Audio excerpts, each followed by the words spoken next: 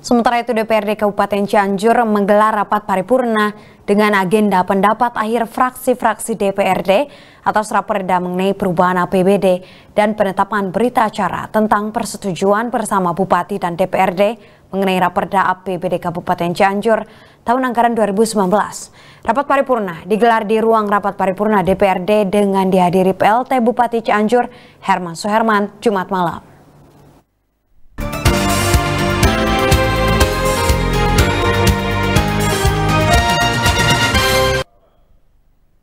Sidang paripurna dengan agenda pendapat akhir dari seluruh fraksi DPRD Kabupaten Cianjur atas rancangan peraturan daerah tentang perubahan APBD tahun anggaran 2019 dipimpin langsung oleh Ketua DPRD Kabupaten Cianjur Yadi Mulyadi.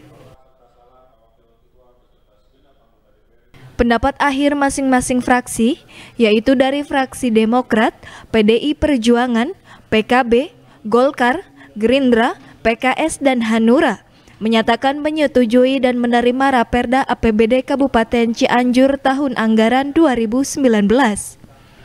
Ketujuh fraksi menyepakati agar Raperda mengenai perubahan APBD tahun anggaran 2019 segera diperdakan.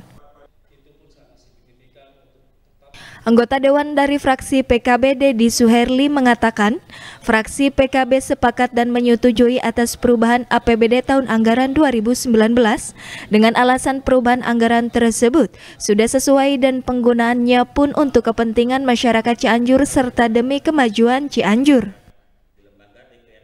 Ya, sebagaimana tadi sudah sampaikan di forum fraksi PKB e, menyetujui e, raperda APBD perubahan 2019 ini.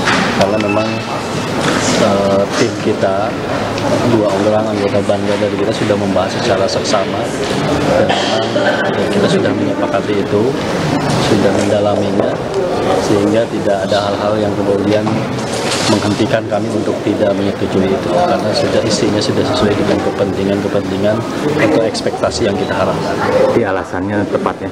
Alasannya tepat karena memang APBD ini kan cerminan uh, keberpihakan ya kebijakan pemerintah daerah terhadap urusan-urusan kepentingan masyarakat. Artinya anggaran di situ uh, kami pikir sudah sesuai, sudah sesuai dan bisa dipertanggungjawabkan uh, penggunaannya untuk kepentingan masyarakat.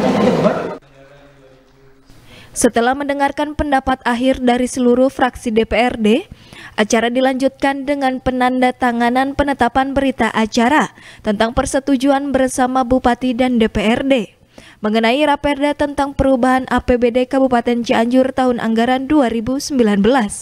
Heri Setiawan, Bandung TV.